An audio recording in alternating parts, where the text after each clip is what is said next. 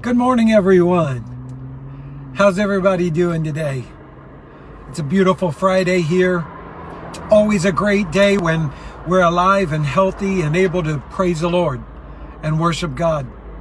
And we're about to start a weekend that is going to be fantastic. Uh, this coming weekend, Sunday actually, following our service, we're doing our first Team Crossroads meeting that we've done in a long time. So just as a reminder to all of our Crossroads family, good morning, Zachariah. Glad you're on here. Good morning, Sheila. Good morning, Sherry and Jeremy and everybody else that's coming on. Everybody, glad to see you on here. Good morning, Josh. Um, but for our church family, don't forget Team Crossroads on Sunday. We're going to have a luncheon, probably about an hour long. That's it. And you'll still get home in time to take a nap.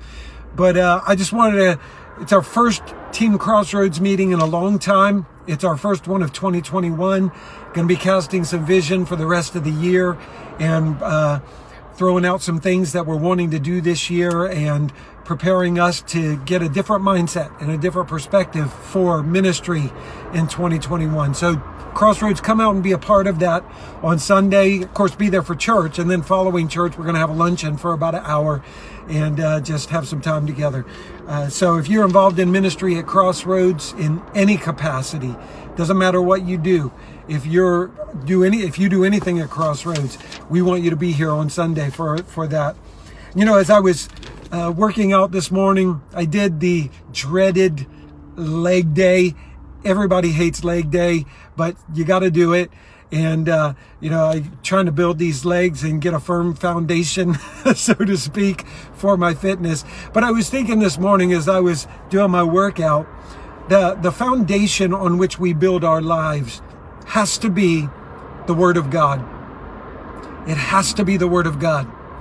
And I came across this passage of scripture that's in Psalm chapter 33, and it was such a great reminder for me this morning. And I want to share it with you. It's in Psalm chapter 33, and it says this in verse 4, 4 and 5 For the word of the Lord is right, and all his work is done in truth. He loves righteousness and justice. The earth is full of the goodness of the Lord. And as I kind of let that mull over in my spirit this morning, I believe that the Spirit of the Lord spoke to me and said, you know, no matter what it looks like, no, no matter what my situation may be, no matter what I'm going through at this moment in, in my life, the word of the Lord is right. There are times when the enemy can come in and try to get us to question the word of God because of what we're going through, the difficulty, the trouble, the problems. And he may try to get us to question or doubt the word of God.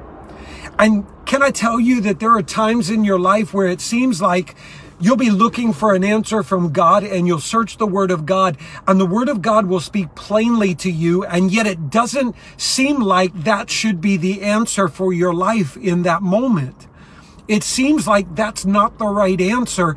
And in your own mind and in your own heart, you think you have the right answer. And, and here's the thing. It's not the responsibility of the Word of God to line up with what I think. It's my responsibility to let what I think line up with the Word of God because the Word of God is always right. The Word of God is always true. And so, no, no matter what I may think in any given moment, I have to make sure that my mindset lines up with the Word of God and not try to make the Word of God line up with my mindset. See, the Word of God is not a buffet that I walk up to and I pick and choose what I want for that moment. No, I come to the Word of God. I read it, I let it get in my spirit, and the Word of God is the truth of my life. The psalmist said, Your word, O Lord, is a lamp unto my feet and a light unto my path. So the scripture reminds me that the word of God, the word of the Lord is always right. Doesn't matter what the government's telling me. It doesn't matter what the CDC is telling me. It doesn't matter what the culture is telling me or what political correctness is trying to speak into my life. The word of the Lord is always right. The word of God is the absolute truth upon which I must base everything else in my life and in my walk with God. So we need to stop trying to take the things of this world and make the word of God fit them so we can justify the way we want to live or how we want to act. We need to take how we act and make it conform to the word of God. That's where the transformation of our mind, the renewing of our mind takes place. You see, the things that I think and the way that I want to live my life and the, my will will always lead me into places of deception, manipulation, struggle. But the Word of God will always lead me to the truth. To the truth. I don't care what the world is telling us is the truth for today. I don't care if the world is telling us that things have changed and what used to be right is now wrong. What used to be good is now bad. I don't care what the world says. I know what the Word of God says.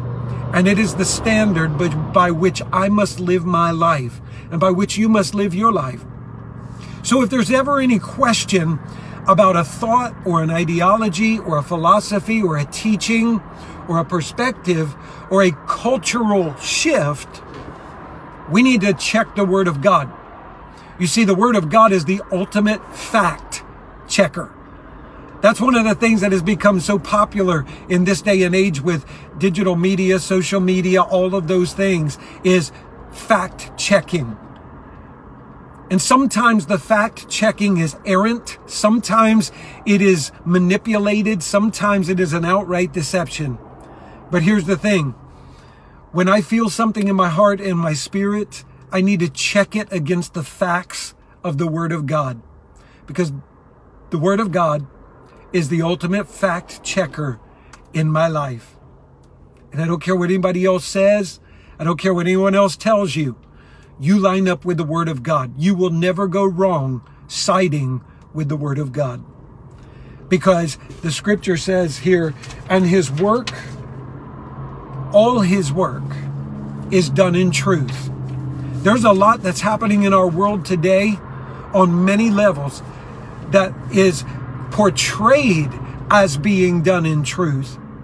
But the reality is it's being done in manipulation. It's being done in lies. It's being done in, in misconception and manipulation. It's being done veiled so that we don't see the truth. But the amazing thing about the Spirit of God is there's nothing hidden with Him.